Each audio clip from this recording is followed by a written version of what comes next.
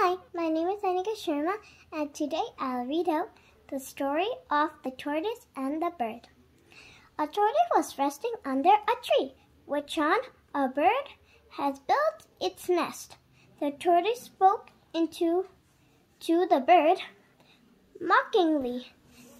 What a shabby home you have! It is made out of broken twigs, has it has no roof and no road.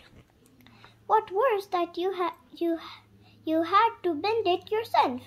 I think my house, which is my shen, is better than your pathetic nest. Yes, it is made out of broken sticks, not shabby, and it's open to the elements of nature. It is crude, but I bend it and I like it. I guess it's just like any other nest. But not better than mine, said the tortoise. You must be jealous of oh my shen.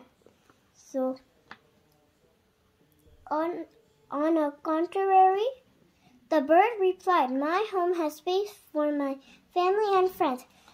Your shell cannot accommodate any anyone other than you.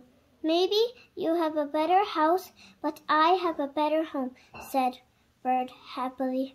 Moral. Moral. Better than a crowded hut than a lonely mansion. Thank you.